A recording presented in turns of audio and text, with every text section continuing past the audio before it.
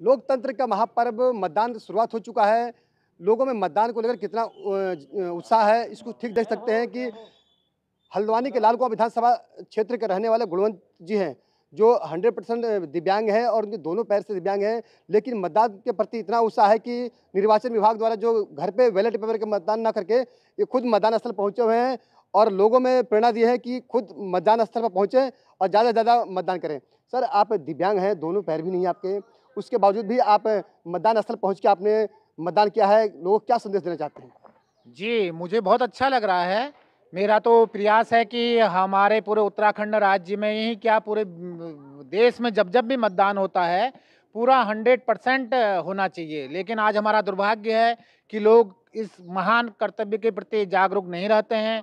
और मेरा यही आज मेन उद्देश्य था कि मैं खुद इस स्थिति में, मैं होकर के मतदान स्थल पर स्वयं जाऊँ। और अपना मत का प्रयोग करूँ। मेरे लिए बड़े सौभाग्य की बात है कि मेरे घर में चुनाव आयोग की टीम भी आई थी। उनका कहना था कि आप कैसे करेंगे, अपने घर से वोट डालेंगे या मतदान स्थल पे जाएँगे।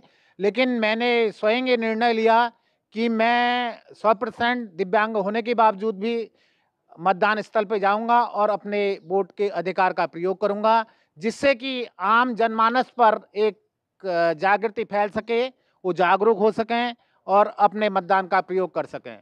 ये थे भुवन गुणवा जी, जो मतदान को लेकर काफ़ी उत्सुक हैं और सुबह मतदान केंद्र पर पहुँच के अपना मतदान किया है और लोगों में इन्हें संदेश दिया है कि ज़्यादा से ज़्यादा संख्या में मतदान स्थल पहुँचें और वोट करें।